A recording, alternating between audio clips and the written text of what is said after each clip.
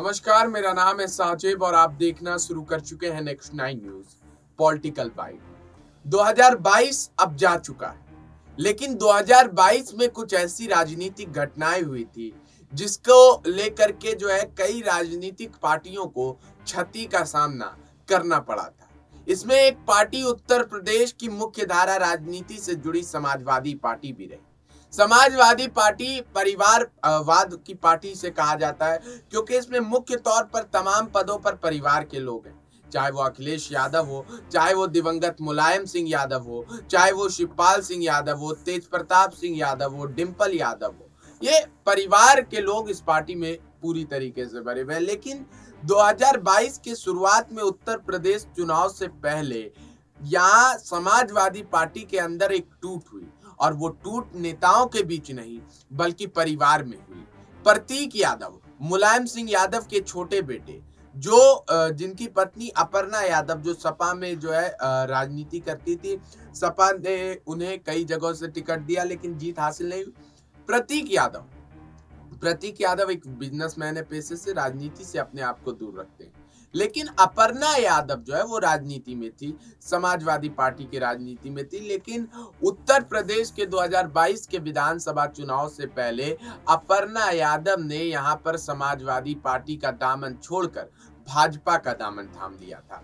जिसके बाद समाजवादी पार्टी को लेकर के एक बड़ा मैसेज जनता के बीच किया था कि इनके अपनी परिवार के लोग, इनकी पार्टी और इनकी नीतियों से सहमत नहीं है तो हम लोग कैसे सहमत हो सकते? और इससे एक बड़ा नुकसान हुआ था समाजवादी पार्टी को।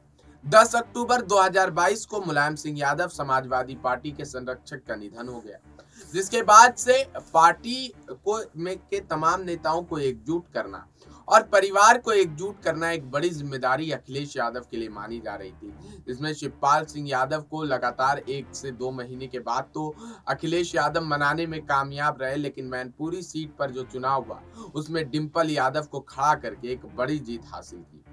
अब अपर्णा यादव को लेकर के एक बेहद बड़ा सवाल है कि क्या अपर्णा यादव को वापसी करेंगी?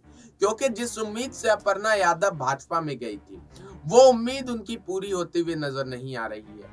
उनको लखनऊ का मेयर बनाया जाएगा, लेकिन इसका कोई औपचारिक ऐलान बीजेपी करते नहीं नज़र आ रही है। ये खबर भी सूत्रों के हवाले से आ रही है। तो क्या समाजवादी पार्टी को छोड़ करके बीजेपी ज्वाइन करना अपर्णा यादव का वर्थित हुआ?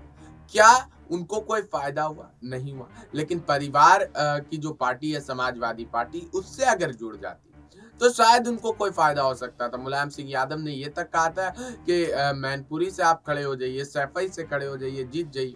लेकिन उसके बावजूद भी डिम्पल यादव ने जो है, बगावत कर दी अपने परिवार और अब परिवार को एक बार फिर से एकजुट करने की बात कही जा रही है, जिसको लेकर के ये सूत्रों के हवाले से खबर आ रही है कि अपर्णा यादव जो है, गुप्त रूप से जो है, सैफई पहुँच सकती है, अखिलेश यादव से किसी बड़े पद को लेकर के मुलाकात कर सकती है। बहरहाल, आज की इस रिपोर्ट में इतना ही।